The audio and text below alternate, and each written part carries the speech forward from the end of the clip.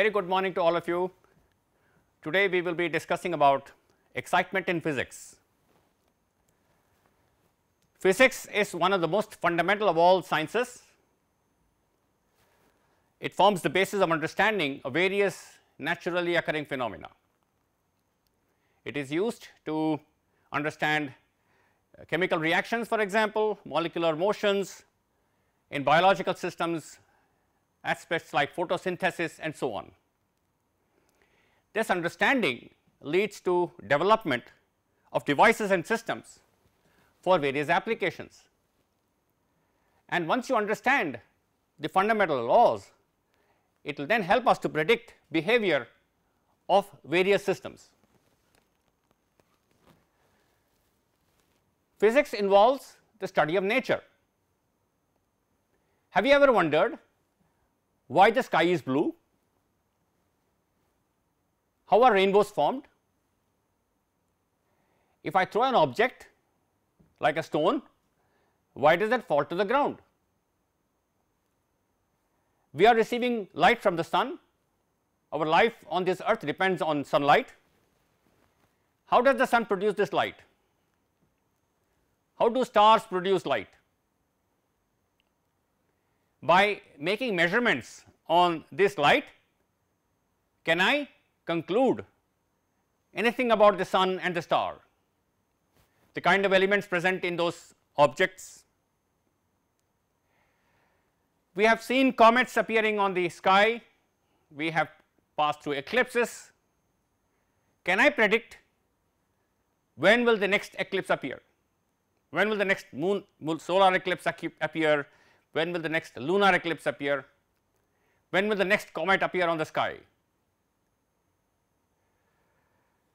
Why are some substances good conductors of electricity while others are poor conductors? For example, metals like copper are very good conductors, but other objects like wood are very poor conductors. Why is it so? So, these kinds of questions are answered by understanding the laws of physics. So, physics deals with discovery of general universal laws governing all natural phenomena through experimentation. So, you devise certain experiments and use those experiments to make measurements and from those measurements try to develop some universal laws. So, for example, I, I drop a heavy object from a certain height, I can measure the time it takes to fall to the ground, I can drop objects of different weights and measure the time it takes to fall to the ground. So, these observations will help me to understand what is the time taken by an object to fall to the ground, does it depend on the mass of the object? Does it depend on the shape of the object etcetera etcetera. So, these experimental observations help us to develop laws universal laws which will be useful in understanding them and also predicting new things. It is also interesting to know that the same laws apply both on the earth as well as in most the most distant galaxies. It is the same set of laws that apply both here and elsewhere. So, the laws governing falling stones on the earth are the same as the laws governing motion of planets around the earth, motion of galaxies. So, all the laws are exactly the same. So, also laws governing electricity and magnetism for example are universal and they apply to all electromagnetic phenomena occurring at all places in the universe. The light signals we receive from distant objects have similar behavior as the lights that is that we are generating on the earth. The radio waves that we receive from pulsars outside from the universe have the same properties as the radio waves on the earth. So, these laws are very universal and they encompass a huge set of phenomena and it is these development of these laws that forms the study of physics. Now, physics is also involved in the study of phenomena at very diverse scales as huge a scale as the scale of the universe to the scales of subatomic particles. So, you want to develop laws that will describe phenomena occurring at very different scales of length, time etc. And it is also important to know that it is possible to derive properties of bigger and more complex systems from the properties and interactions among its constituent parts. So, knowing the properties of molecules and atoms, I should be able to derive certain properties of the solids and liquids that are formed by these atoms and molecules and physics explains what are the properties of the of the uh, solid matter, how are they related to the properties of the atomic particles and so on and so forth. So, you can derive properties of much more complex objects starting from properties of its constituent parts and the way they interact. Physics forms the foundation of all engineering and technology which have huge impact on our lives. The most common example today is the internet. Children growing up at this children like you now are taking internet for granted. So, there is a lot of physics, there is a lot of engineering, there is a lot of technology that has gone that has gone into development of the internet. Mobile phones, all of us are now carrying mobile phones and we can communicate between any two any person anywhere on the earth by using our mobile phones at any time. We are all so much used to computers, computers are used for all kinds of applications right from booking tickets to calculations to predictions etc., etc. And computers are forming a very very important part of our research and also everyday uh, aspects. Human beings requires energy. So, we are tapping solar energy, nuclear energy, wind energy etc. and all this requires a lot of understanding of basic physics involved in these processes, understanding those physics and then developing techniques, materials so that we can use these to generate energy for ourselves.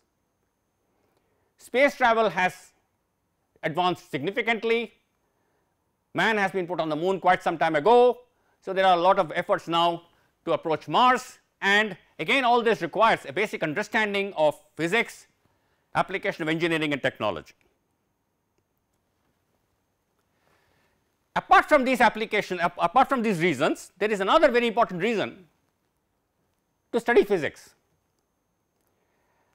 Physics is like an adventure into an unknown territory.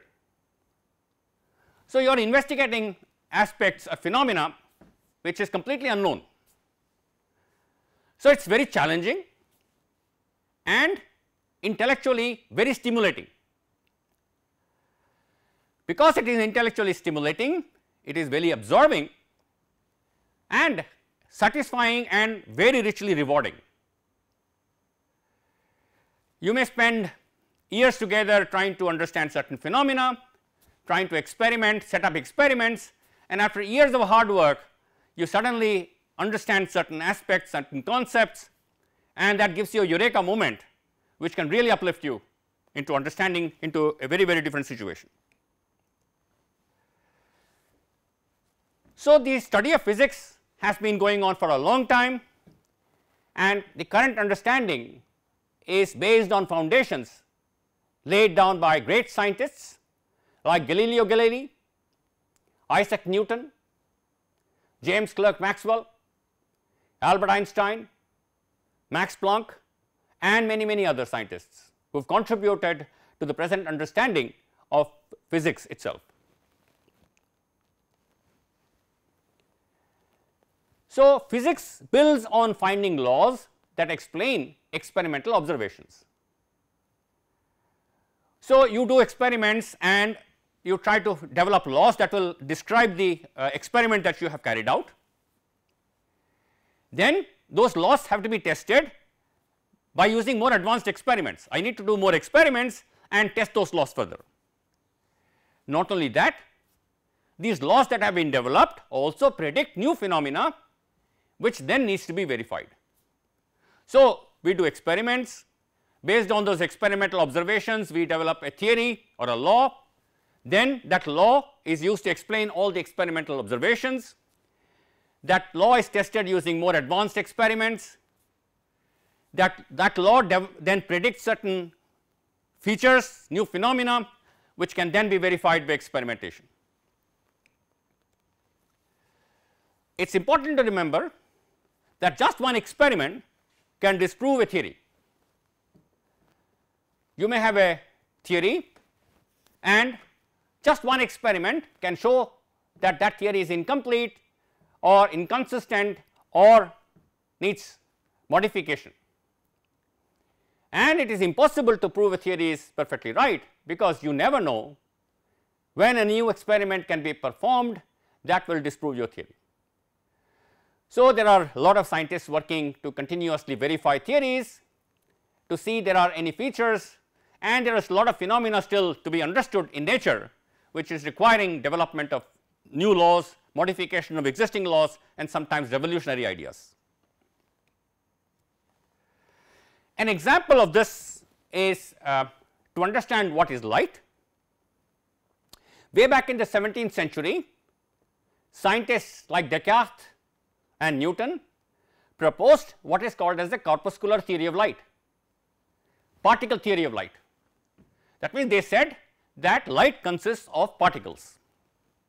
So, when light comes out from a source such as a bulb, there are particles which are coming out and using this picture, they could explain the propagation of light along a straight line because we all know light propagates along a straight line.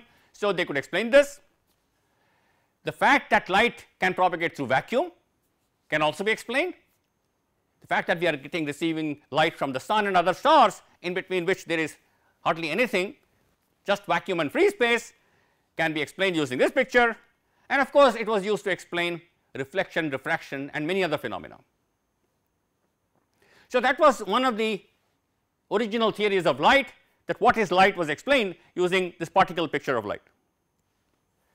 Then in the 18th and 19th centuries, scientists carried out some experiments.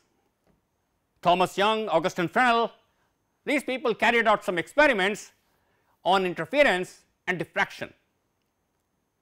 You may have heard of beats of sound. So, if you have two sound waves whose frequencies are very close to each other, then when you hear them simultaneously, you will hear waxing and waning of sound.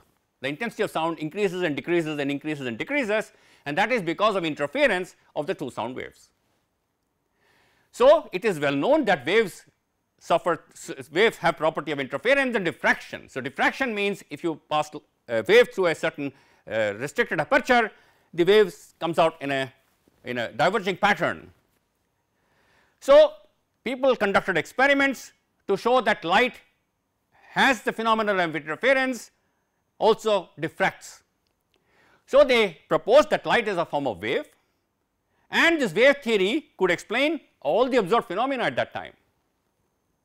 So, this wave theory replaced the corpuscular theory because corpuscular theory could not explain certain features which the wave theory could explain. Then came Maxwell in the 19th century who developed equations to show that light wave is actually an electromagnetic wave, a wave that consists of electric and magnetic fields. So, the electric field which is changing with time generates a magnetic field which is changing with time. The changing magnetic field produces a changing electric field and these two couple to each other and propagate in the form of a wave. So, this phenomenon can then explain the fact that light waves can travel through vacuum because these are simply electric and magnetic fields propagating through space.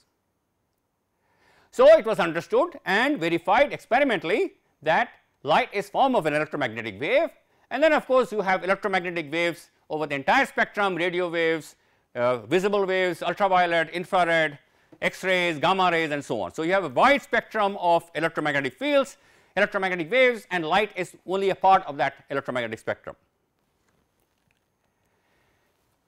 So, that was well established at that time and in the early part of 20th century some experiments could not be explained on the basis of the electromagnetic theory of light. So, a new development had to take place and that is the quantum theory of light. So, Einstein explained the photoelectric effect and soon after that there was a lot of excitement in physics in which people developed the entire field of quantum mechanics to explain many many features including lights including light. So, what comes out of this picture is that light is neither a wave nor a particle and it behaves sometimes like a wave sometimes like a particle it is neither the wave nor a particle. And with this this picture of light we develop the concept of photons. So, we assume that light can be absorbed and emitted in packets of energy which are called photons. And this picture which is the quantum theory of light can explain all observed phenomena as of now. So, this picture of light which is now currently taken as the correct picture of light can explain all observed phenomena and unless some other experiment in the future is shown to not to follow this principle until that time we will assume that the quantum picture is the right picture. Now when you develop laws to explain certain features as I said before that picture also predicts new phenomena. So the current theory of light which is based on quantum mechanics predicts certain new forms of light with strange and counterintuitive properties. That means properties which cannot be understood in a normal sense, they are against intuition. So, once the prediction takes place, people then conduct experiments and verify have verified that these counterintuitive properties are actually real properties. That means, they the predictions of the quantum theory of light are actually verified experimentally and that actually further emphasizes that the quantum theory is a correct picture. This picture of light now the quantum theory of light is leading to a new field of science engineering and technology which is called quantum information science and technology. This field is now being developed to achieve secure communication the field of cryptography where you encrypt messages and send across the internet for example, high speed computation, extremely sensitive sensing and so on. So, there is a lot of activity in this uh, branch of uh, engineering and science and physicists, computer scientists, electrical engineers, material scientists all people are involved chemists everybody is involved in developing this field of quantum optics. Now, we must understand that all physical laws have a range of validity within which they operate. So, the laws which are used to describe motion of say planets or the motion of a stone thrown is essentially part of classical mechanics and there is a certain mathematical structure which is used to explain this. Now that mathematical structure is not valid at microscopic scales. So at microscopic scales when I have to describe how an electron trajectory moves, how an atom moves etc., I have to use the field of quantum mechanics. So the I must be in, I must be aware of the range of validity of the laws and models which I am using. Similarly, at very high speeds of particles I must use the principle of relativity which was developed by Einstein.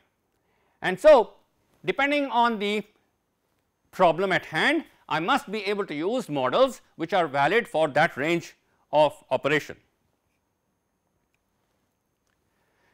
Now, so I when I have a physical system to describe or to understand many times I will use highly simplified models so, let me take an example of uh, to, un to understand how the motion what is the trajectory of a cricket ball which is thrown in air.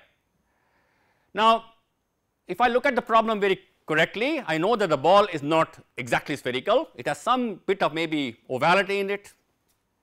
The surface of the ball is not perfectly smooth there are stitches on the ball. The ball is moving through air which has resistance there is wind and if I need to take a model in which I take into account all these parameters, the problem becomes very complicated.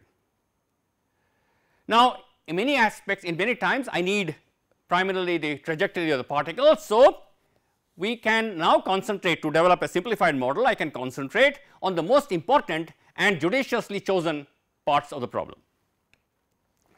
So, in this example I can describe the ball as a particle. I can neglect air resistance, wind movement, I can assume that the acceleration due to gravity does not depend on height and solve the problem. So, this is a highly simplified picture of the given problem and this simplified picture will give me a trajectory which in most situations will re work reasonably well. Now, I am sure there are situations where this model may not work and for that I must modify the model to take into account other effects, but we must remember whenever I apply a model to a problem I must remember the range of validity of that model and then simplify the model in terms of judiciously chosen approximations and solve the problem. As experimental science getting better and better, technology is advancing and this advancement in engineering and technology is actually allowing us to perform more and more intricate experiments. Experiments which could not be performed maybe 20 years ago or 50 years ago can now be performed. A very interesting example is the detection of gravitational waves.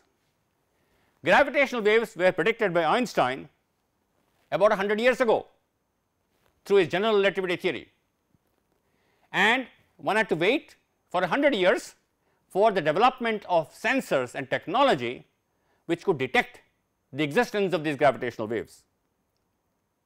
Incidentally, this detector works on the same principle as the experiment used by Michelson and Morley to check the existence of ether. So, it is an experiment which then can be perf is performed today and has detected gravitational waves. So, it required a lot of time to develop technology to achieve the required sensitivities and further improvement in development of the te detector technology is in progress to improve the sensitivities to detect even more weaker gravitational waves. And this is based on what is called as a LIGO laser interferometer gravitational wave observatory. And it is very nice to know that there is a LIGO plant in India somewhere and that will give an opportunity for scientists, technologists and engineers in India to work with the international teams in this extremely important and exciting adventure of detection of gravitational waves. Physics find many many important applications and I will just briefly discuss one or two applications which have had very strong impact on our lives. So, let me come back to internet and mobile telephony. We all take for granted the existence of an internet, the existence of a connectivity and we are we all take for granted the fact that I should be able to talk to anybody anywhere on this earth at, at my at any given time. I should be able to download information, I should be able to download movies etc., just by clicking the mouse of a computer or the tap on a screen. I should be able to chat with friends, upload photographs and also what is developing is internet of things where various equipments and components are connected through the internet. Now, all this has been made possible because of the development of using light for communication and there is a lot of physics behind this technology that has been developed. For example, it involved understanding of the properties of electromagnetic waves, it involved understanding properties of materials, not only understanding, engineering, fabricating, designing, measuring, characterizing etc. All this involves a lot of physics, engineering and technology, development of lasers as a source, lasers detect, detectors very sensitive detectors development and of course, integrating all these components into a technology which can be used for communication. So, today this optical fiber network has millions of kilometers all made of glass carrying information. So, whenever, whenever we telephone or we send information through an internet, all this data and information and voice is going through millions of kilometers of optical fiber. This is forming a complete network around the globe. And as increasing demand for communication takes place, there is further and further research in understanding in developing new methods for communication and to increase the speed of communication. And people have already demonstrated capacities of terabits per second that is 10 raised to the power 12 bits per second communication systems. So, what is the physics behind all this application? How can I send a light wave from one place to another place distance by about 10,000 kilometers? How is light propagating through this? How is information being carried? So, it is based on the simple phenomenon of total reflection. So, you have if you take a medium uh, a denser medium and a rarer medium when you when a light wave impinges on this interface from the denser medium there is a small amount of reflection takes place and there is a refracted ray and no we know that the angle of refraction here this angle is more than the angle of incidence because it is going from a denser medium to a rarer medium. Now, as I increase my angle of incidence the refracted ray bends and more and more until I reach a critical angle at which the refracted ray grazes the surface. This angle is called the critical angle and if your angle of incidence is beyond this angle theta c then there is total internal reflection. There is no transmitted wave all the light incident on the interface is reflected and that is 100 percent reflection. Please note that this is different from reflection from a metal because a metal reflection is never 100 percent there is always some absorption a very small amount of absorption, but a finite absorption this is 100 percent reflection. So, using this phenomenon there are for optical fibers which are cylindrical structures these are hair thin fibers which have a core and a cladding. There are two materials slightly different refractive indices the inside core has a slightly higher index than the outside cladding and this leads to the phenomenon of total reflection at the interface and if you launch light from one end light can guide through this fiber for thousands of kilometers. This is a photograph of an optical fiber which is 25 kilometers long carrying light from a green laser. Now, you can see the light coming out from the fiber and that is based on the phenomenon of Rayleigh scattering. The same mechanism that leads to the blue sky is responsible for you are able to see this fiber from the sides because if it is total internal reflection I should not be able to see the fiber from the side and that is simply the Rayleigh scattering that is taking place. So, there have been that was one application there are many many other applications which have come about. We all take for granted the GPS systems global positioning systems and we must remember that the GPS system uses relativity theory for its accuracy. You can use electromagnetic levitation, electromagnetic induction and people have developed what are called as maglev trains magnetic levitation trains which are super fast. And it is interesting to learn that Indian Railways is exploring such trains to run in India at speeds of 500 kilometers per hour. Space exploration is a very very important area and India has done extremely well in this branch. Space exploration requires a lot of understanding of the basic physics of the technology and engineering. In fact, for example, if you have to land any object on a, a, a, planet like Mars, we need to be able to calculate very precisely the trajectory and the mechanics of the motion of these objects. With increasing research in material science with properties which are being modified, people are developing more and more miniaturized electronic devices. And with miniaturized devices and technology, we are having new games like uh, all of you must be familiar with Pokemon Go, which uses the GPS, the global positioning system to locate and capture virtual creatures. With all this understanding, technology, engineering, the future of future games is very good and I am sure as time progresses new and newer types of games will be coming up on your mobiles. Now we use mathematics to describe various natural phenomena. So when you do experiments and look at the observations you try to condense all the experimental observations into mathematical laws which are which take the form of mathematical equations. So mathematics is a very very important component of physics. So these mathematical equations not only explain the observed phenomena but also predict new phenomena. So you form an equation set of equations which describes what you are observing but those same set of equations will predict as we discussed a little while ago new phenomena. Now it is not always necessary that this new phenomena can be verified immediately because it may need development of new technologies and new understanding before some of these can be tested experimentally. So I just want to give one example here. Uh, we are all familiar with the mirage on a desert. So on a hot day the air near the ground is hotter than above. So, the refractive index of air changes with height. So, if you have a tree here palm tree the light ray coming from the palm tree does not travel along straight lines, but curves itself. Because the refractive index of the medium is not constant such a medium is called an inhomogeneous medium refractive index changes with height and that leads to a curvature of the light ray.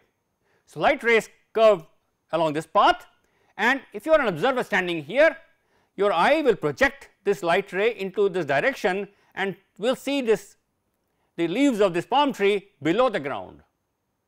So, it will appear to you that there is a reflection from this interface here which is on the road. You also get light rays directly from the palm leaves that also shows you the object and its image. So, it gives you a feeling of reflection, feeling of presence of water and that is a very interesting observation. If you travel on a hot day uh, outside on the road, you will be able to see this mirage very, very clearly. So, the question arises, can I design media in which we can control the path of light and other form of waves? Can I have invisibility cloaking? So, can I cover an object with such a medium so that light goes around the object and makes the object invisible. So, for example, if I am standing here can I cover myself with a an object such that light ray from behind comes like this straight bends around me and goes like this. So, the light ray which is starting from behind me starts comes straight goes around me and goes straight. So that for an observer sitting in front of me he will not be able to see me, but he will see the blackboard behind me. So this is cloaking and you make I can be made invisible by this mechanism and you must have all read Harry Potter stories where such cloaking has been used.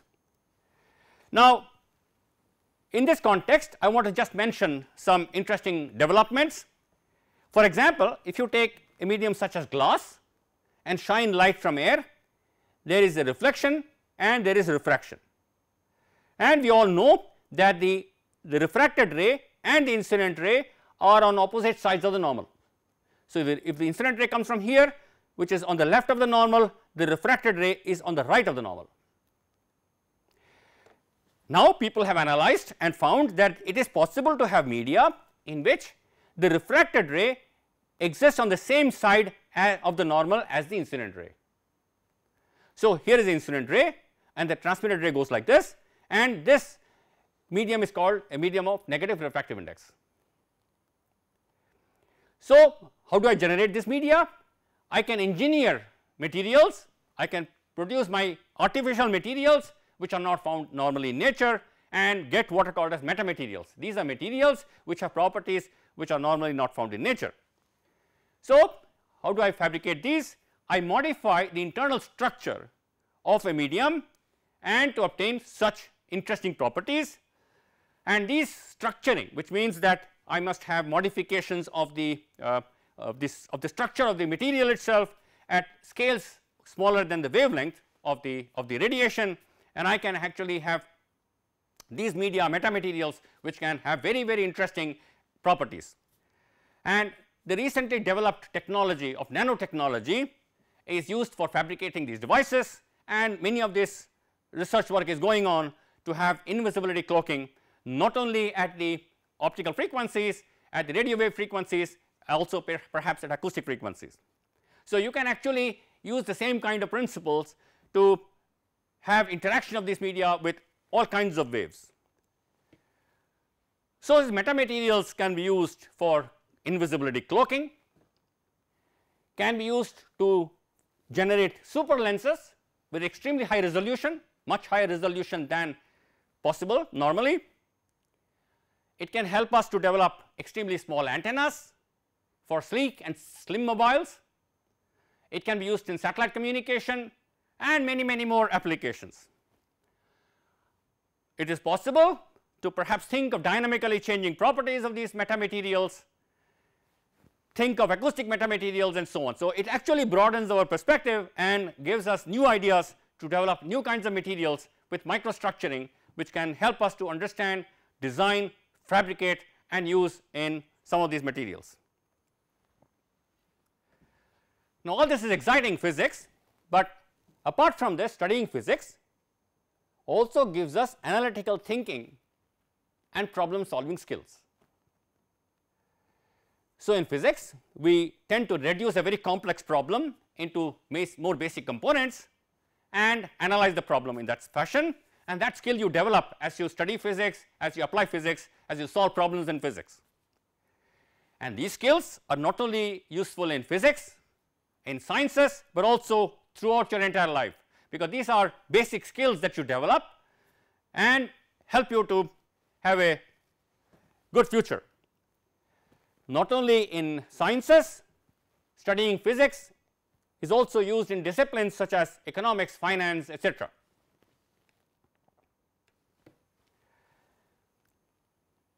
Now, apart from physics there are other sciences like chemistry and biology which I was mentioning in the beginning and there is always very interesting developments to combine these fields of sciences and today there is a very interesting field of biology mixing with chemistry and physics which is called biomimetics. It is an interdisciplinary field combining physics, chemistry and biology and this is based on the fact that living organisms have evolved over millions of years of natural selection. So, they have characteristics which have been evolved over a long time and the question is first of all what are those properties, what are those characteristics, can we develop materials and systems that mimic these biological systems and this will help us to design and develop new technologies. There are many examples. The most interesting example is velcro tape which all of you are aware of where you act where you stick two surfaces uh, together through hooks and then separate them out. These are these have actually developed by looking at some plants which have hooks. There are inspirations from raptors and owls to develop wings that can change shape to reduce drag. People are looking at termite mounds which regulate temperatures. So, architects are interested to understand the behavior of these. There are medical scientists looking at developing new hypodermic needles which are like mosquito proboscis which can reduce the uh, effect on our nerves and reduce the pain. And of course, we need to understand magnetic navigation in animals, birds and insects, how they use magnetic fields to navigate and how they use polarization of light to navigate and so on and so forth. So, there is in nature a lot of uh, other living organisms which use many other techniques for their lives and is it possible to understand them, to investigate, to use those same principles in designing our own systems. For example, have you ever wondered about the colors of a peacock feather? and some kind of butterflies called iridescent butterflies. The color of a peacock feather is very different from the color of a flower like rose. If you look at a rose no matter what direction you see the rose it will have the same color, but uh, a, but a butterfly or a peacock feather has different colors depending on the angle of view angle of viewing. Actually these these have structures at the nanometer scale. So here are two examples on the right is a peacock feather here the eye of the peacock feather here and you can see the colors. If you rotate the peacock feather you will be able to see that the colors change and that is the color of a beetle here you can see shining colors. These colors are produced primarily by the microstructured surfaces on these insects and uh, other objects like feathers and so our objective in physics would be to understand the origin of these colors, to fabricate such structures and to design things which may have applications for us beyond what we have today.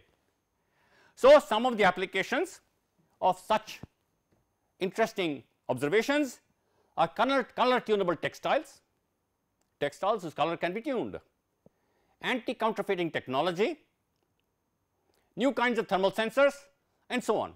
So, the end, there is endless applications we can think of by taking examples from nature and using them in our everyday life science and technology. So, that was a, a discussion of our physics excitement in physics. And we will see that you have in class 11 you will have to study the following subjects. Newton's laws of motion, energy motion of rigid, bod rigid bodies, gravitation. You will be studying properties of matter, mechanical and thermal properties, you will be studying thermodynamics, kinetic theory of gases and waves and oscillations. All these will form a subject of class 11.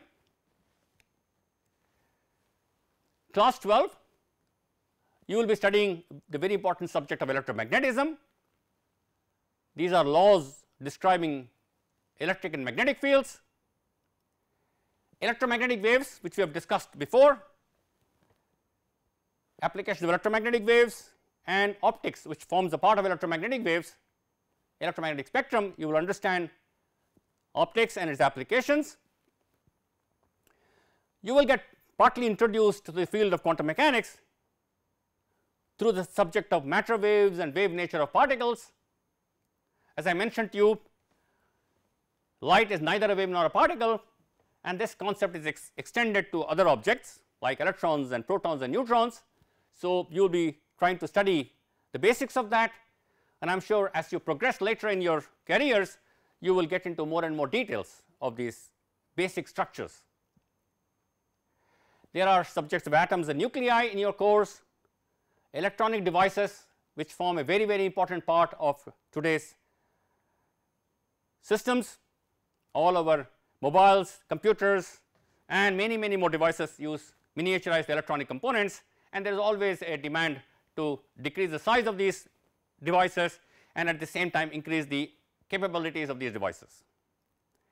And some bit of communication systems which you will be studying uh, one of the applications as we have seen is the communication through the internet which is an extremely important aspect of our life today. The future of physics we may think that lot of studies have been done in physics, it has been developed over centuries now, but let me tell you there is still a huge field of exploration in front of all of you. At different stages in the development of physics people thought that everything that had to be developed had been developed. In fact, that was the picture at the end of the 19th century, but then things changed with the development of relativity theory and quantum mechanics which has helped us to completely revolutionize our thoughts. In fact, physics has influenced strongly the philosophy and our objective the view of our objective world. So, there is still a lot of exploration field for all of you to get into and I am sure some of you will venture into this unexplored territory and discover new phenomena and create new paths for others to follow. I wish you grand success in all your studies. Do well in whatever career you choose for yourself. In class 11 and 12 you will study physics, chemistry, biology and other subjects. Enjoy learning. The skills that you develop will always be very helpful to all of you in your future careers and lives. So, work hard and enjoy the subject that you are learning.